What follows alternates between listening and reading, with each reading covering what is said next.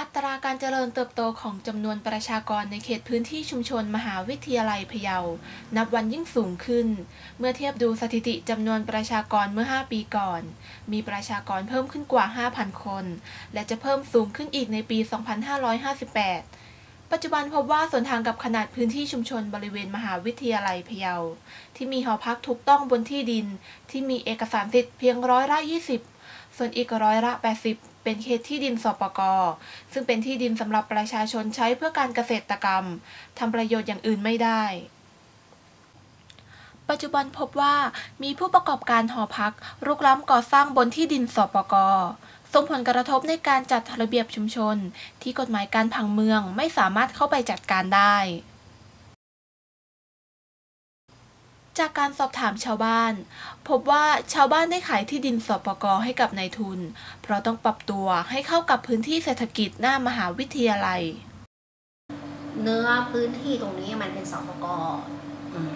ทุกคนก็ย่อมย่อมรู้ดี ถึงนายทุนจะมาซื้อก็ต้องย่อมรู้ดีถูกไหมแล้วก็ ชาวบ้านเนี่ย พอความเจริญเข้ามาแล้วใช่ไหมนายทุนก็ พึงที่อยากจะได้ที่เนื้อที่และชาวบ้านเขาซึ่งทำเกษตรเนี่ยเขาจะไม่ได้อะไรต่อปีผลผลต่อปีที่ผลรับมาเนี่ยบางทีไม่ไม่ถึงหนึ่งหมื่นบาทต่อหนึ่งไร่แล้วอีกอย่างหนึ่งทำอะไรก็แล้วแต่ในพื้นที่ ถ้าไม่มีทุนแล้วอะนะคะทำเกษตรมันก็ไม่ได้อะไรขึ้นมา จากข้อมูลการขออนุญาตก่อสร้างอาคารในเขตเทศบาลตำบลแม่กา ตั้งแต่ปี 2552 ถึง 2554 พบว่า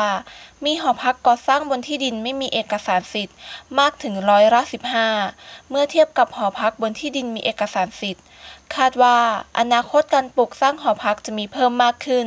เพื่อรองรับจำนวนประชากรและนิสิตที่จะมาพร้อมกับการเจริญเติบโตของมหาวิทยาลัย และศูนย์การแพทย์ ปัญหาดังกล่าวส่งผลกระทบต่อนิสิตที่พักอาศัยในหอพักบนที่ดินสปกด้านสาธารณูปโภคโดยตรงว่าอย่างไฟฟ้านี่ก็คือเดินเดินไฟเข้าในพื้นที่สปกคือถ้าจะเดินนี่ปุ๊บต้องมาขออนุญาตกับสปกก่อนคือถ้าหากว่าเป็นการเดินเดินไฟเข้าไปเพื่อที่จะการหอพักนี่เขาเลยบอกว่าเพราะว่ามันผิดวัตถุประสงค์ ปัญหาลุกล้ำใช้ประโยชน์ที่ดินสปกบริเวณชุมชนรอบมหาวิทยาลัยพะเยา ได้มีการพิจารณาแก้ไขในที่ประชุม ตรวจติดตามการแก้ไขปัญหาสปกบริเวณหน้ามหาวิทยาลัยพะเยา โดยผู้ตรวจราชการ กระทรวงเกษตร และท่านผู้ว่าราชการจังหวัดพะเยา เมื่อวันที่ 6 กันยายน 2555 ณ ศาลากลางจังหวัดพะเยา ได้ข้อสรุปให้ 3 หน่วยงานหลัก คือ เทศบาลตำบลแม่กา สำนักงานปฏิรูปที่ดินจังหวัดพะเยา และกรมโยธาธิการและผังเมือง ดำเนินการจัดพื้นที่สปกให้เป็นพื้นที่เช่าเพื่อกิจการหอพักได้ ซึ่งจะเริ่มดำเนินงานตั้งแต่วันที่ 1 ตุลาคม 2555 เป็นต้นไปเรา